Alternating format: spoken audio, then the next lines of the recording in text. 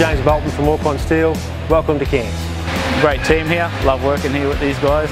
We've got a shed here which is, has about uh, 1200 tonne of steel and we, we carry all range of steel from um, merchant bar, tube, plate, sheet and coil, hot rolled structural, a bit of everything. Yeah, we get a little bit of everything. You get a lot of guys coming from the farms and we service all the way up to the Torres Strait. A lot of cash sale work that we do, uh, up to engineering shops, fabricators. Yeah, I pretty much um, cut all the structural stuff you see around. The saws are in action quite quite regularly.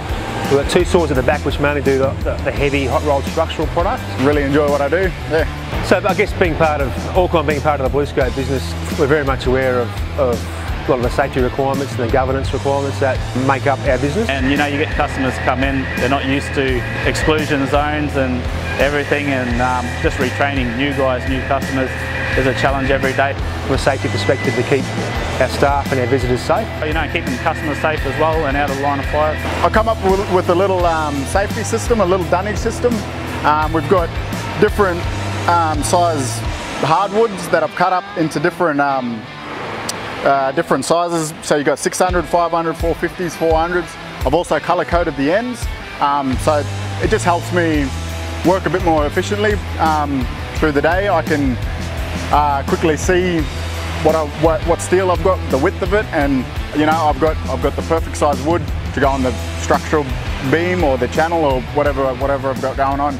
Just communicate with our customers, be open and upfront, and let them know what we can do, what we can't do, and, and look after them as best we can. One thing they're really good at here. It's cliche, but you, you do learn something every day, something new every day. Tourism's a big part of Cairns and the regions. Pretty good spot, Cairns.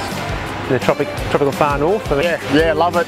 You, you know, you take the good with the bad. You've got the wet weather, but then you've also got beautiful sunny days.